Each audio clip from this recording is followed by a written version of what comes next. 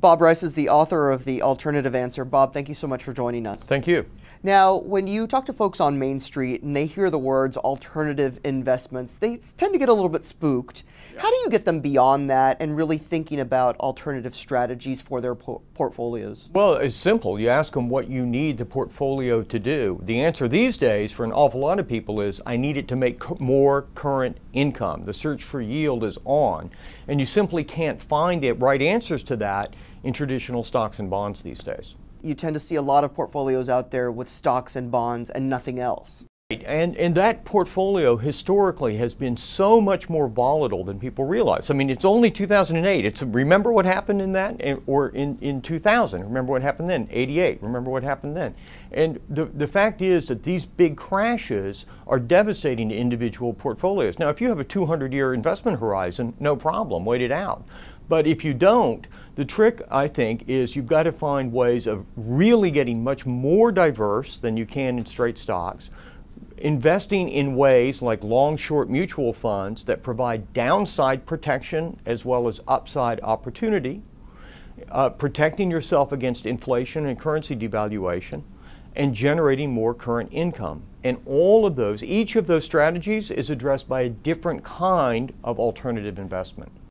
And so there's not one alternative investment that kind of fits everybody, right? If, if you're trying to preserve wealth, if you're trying to accumulate, if you've got a little extra cash to play around with, there are different alternative strategies for you to consider. Yes, this is really the important thing. People talk about their alternatives bucket as if all of the things that are in that bucket are, are identical to each other, and that's just fundamentally, totally wrong. What's great about alternatives is that they can serve the, the right alternatives can serve each of the different goals that portfolios should be achieving for people. One is more current income, one is risk reduction, one is getting paid more for the risk you do choose to take, and one is wealth preservation against inflation and currency devaluation. So you have to ask yourself, what do I need to do? And then look at the strategies. And in the book, you have eight strategies, eight different alternatives for each one of those four goals. So there are 32 different kinds of alternatives you can look at. One of the things you also talk about in the book, though, is things to watch out for.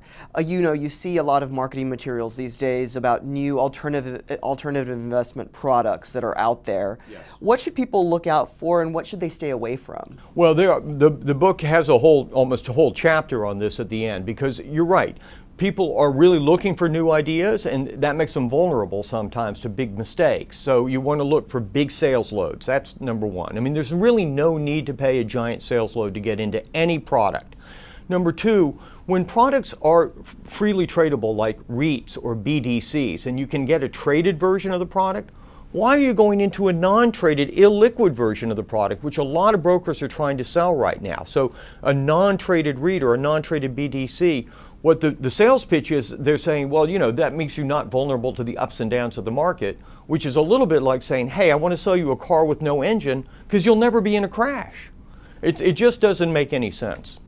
And now for individual investors who are potentially thinking about investing in hedge funds or doing some angel investing, maybe some private equity investing, is there a way for them to kind of dip their toes into those um, alternatives uh, without kind of going all in? Oh, absolutely. So first of all, nearly all of those strategies are available in really liquid formats right now uh, in, in, the market. So you can, you can find ways of investing in mutual funds and ETFs and, and BDCs and uh, uh, all sorts of other kinds of alternatives that will allow you access. But in any of these strategies, whether it's angel investing or peer-to-peer lending, which is a great opportunity for people to make current, more current income, you absolutely can dip your toe in. And the better sites like Gust or AngelList for angel investing or Prosper or the Lending Club for peer-to-peer lending have a lot of educational material on there. So Obviously, get educated, make small bets at first while you're learning the ropes. And if you want to get into angel investing, the best thing you can do is join an angel group of other investors and learn from them before you make your first investment. Great, Bob. Thank you so much for the advice. Thank you. We've been speaking with Bob Rice, author of The Alternative